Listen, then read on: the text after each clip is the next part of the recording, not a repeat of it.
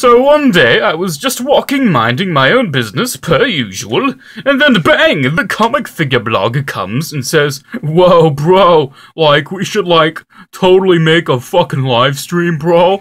Wouldn't that be, like, the shit? And I'm just like, oh, yeah, sure, man, let's, let's do it. So, the two idiots band together and they make a live stream. Well, we haven't yet, but this Thursday at 8 p.m. Eastern Standard Time or 5 p.m. Pacific Time, we will be making a live stream together. The topics will be random. Uh, I guess the topics will pretty much just be whatever the commenters want. But yeah, um, because I don't know how to host a live stream, it'll be down. It, it'll be at his channel. So go and check out his channel. Link is in the description below.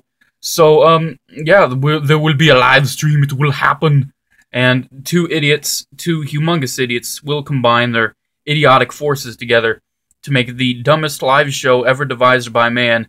Yet it will be charming, hilarious, stupid, idiotic, insulting, and pathetic.